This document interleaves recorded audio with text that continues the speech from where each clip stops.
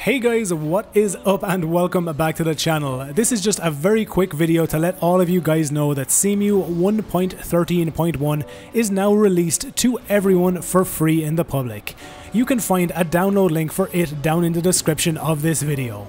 In the next 40 minutes to 1 hour, my full setup guide for 1.13.1 will also be released for anybody who requires it, otherwise you can simply download and set up Cemu yourself right now.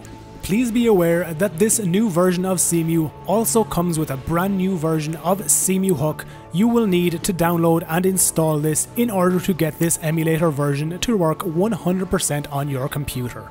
For anybody who has been using the Patreon release 1.13.1c, this public release is a new version titled 1.13.1d, so you may also want to download and update your Cemu version also.